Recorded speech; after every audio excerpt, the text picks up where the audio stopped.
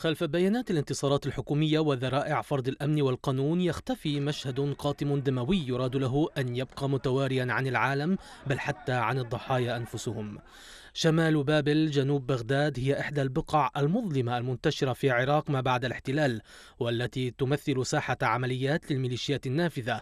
فتنوعت أنشطتها بين قتل وخطف وحرق للمنازل وتجريف للبساتين طوال السنين الماضية حتى وصل الحال إلى استهداف الكوادر القانونية في تلك المنطقة وكان المحقق القضائي أحمد سلمان العزاوي آخر ضحاياها. لا إله إلا الله!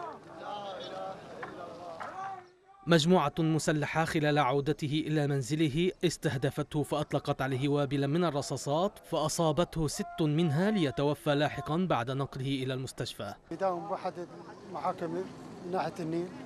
طلع من الدوام ومن طلع من الدوام ناحية الإمام حاول يتسوق وقتلوه.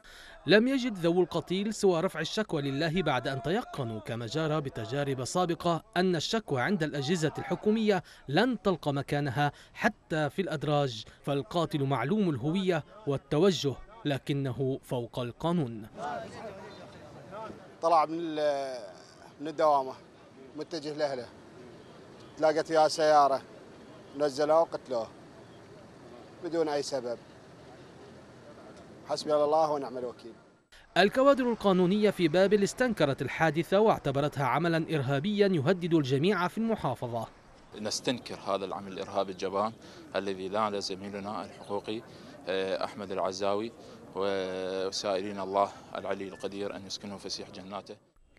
وكان سبق العزاوي بالمصير ذاته قبل نحو أسبوعين المحامي غزوان عبيد الجنابي الذي اغتيل هو الآخر قرب ناحية الإسكندرية شمال بابل بعد استلامه موكله المفرج عنه من مقر التسفيرات بالمحافظة.